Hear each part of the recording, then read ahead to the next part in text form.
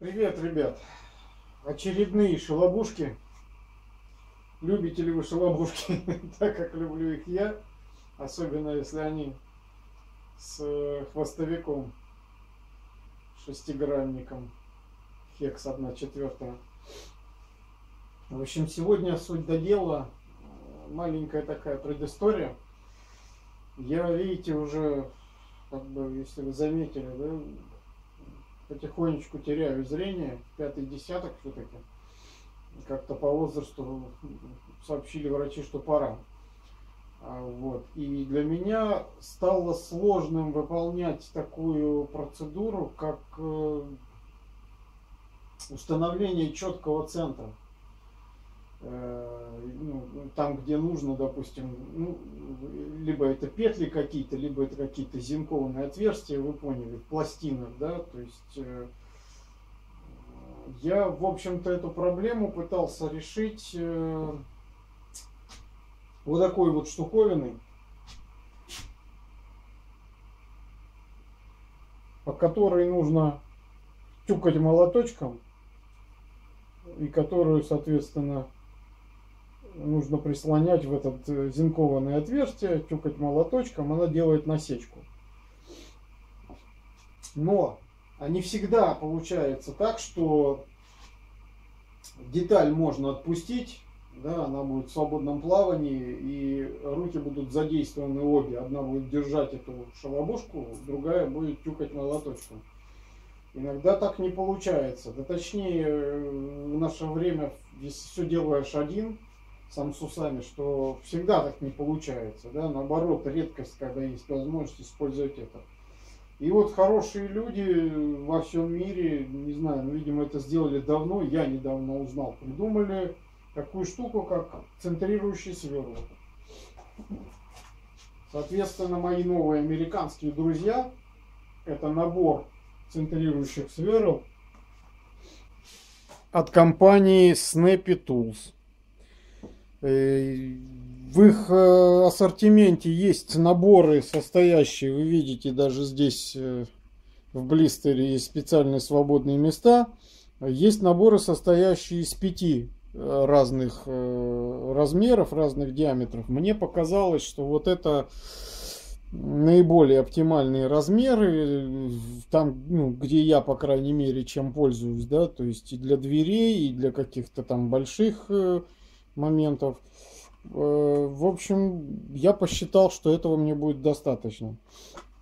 Вот, на оборотной стороне, как обычно, все у них написано, расписано, партии, страна производства. Вот, я тут разметил, собственно, уже открыл, разметил русские размеры, получаются э, маленькое сверло 1,98, ну, грубо говоря, 2 миллиметра почти. Здесь 2,78, то есть 2,8, да, здесь 3,57, ну, 3,6. Вот такие вот э, основные, основные параметры. В общем-то, наверное, все уже все и все о них знаете. С, ну, естественно, они тоже так же, как и китайские, и, и у других производителей э, имеют э, управляемое сверло. Они полностью разборные. Все это можно разобрать хозяйство. Можно заменить сверло. У них есть сверла в продаже. Вот такие. Здесь боек. Шайбочка. Не буду мучить все это дело. Э, шестигранный мой любимый хвостовичок. Э, все нормально, быстро одел, быстро отработал. Ну и, соответственно, да, уже нет необходимости одной рукой держать, э, держать само вот такое вот устройство, да, а второй той самой. То есть мы можем уже непосредственно держать элемент, который нам нужно четко зафиксировать на одном месте. И шуруповертом сделать где-то дело. Ну, вот, собственно, давайте попробуем сейчас сделать такое одно дельце. Вот наш подопытный. На нем, собственно, и попробуем потренироваться.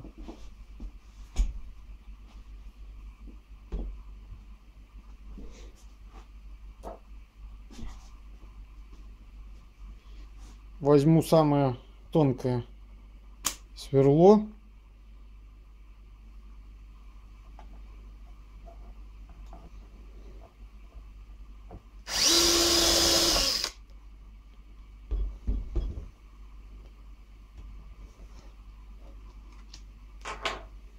Вынимаю.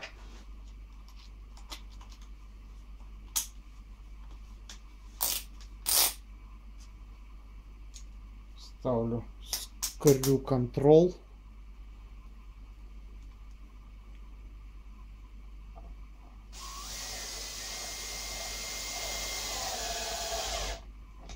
Ну, собственно, здесь проделываем ту же самую операцию.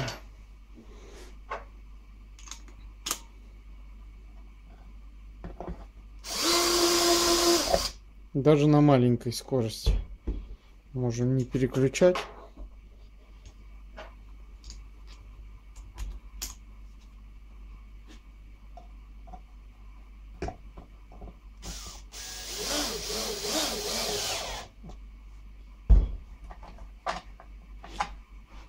Все, шалобушка готова. В моем случае, не знаю, как для вас, для меня это вот некая панацея. Мне удобно, хорошо. Я считаю, что это действительно полезная вещь. Хотя опять справедливости ради надо сказать, что когда я искал, я видел много китайских вариантов, но я также видел э, видеообзоры на ютубе э, по китайским таким вот центрирующим сверлам. У людей то сверла лопаются, то еще что-то, не знаю. Ну, некоторые, наоборот, там говорят, все здорово, замечательно. Справедливо будет также, наверное, сказать, что лучше там можно купить, э, не знаю, пять комплектов там китайских сверл, да, нежели одни вот эти. Не знаю пока. Во-первых, я не очень часто их буду использовать. Во-вторых, я люблю себя любимого. И как-то сталкивался уже много раз и с китайским. Не все там барахло, но тем не менее. Мне как-то кажется, что все-таки эти будут понадежнее. Опять же, я пока искал, когда, вернее, заказал уже вот эти, после нашел других фирм, э, таких европейских или около европейских или европейских с производством в Китае. Тоже ну, как бы брендовые вещи, но подешевле стоимостью. То есть, ну, эти товарищи считают себя премиальными и как-то, не знаю, все в одну дуду я теперь вот дудю. Э, не знаю, в общем, я посчитал нужным э, приобрести именно их. Вот показал, что, что это такое.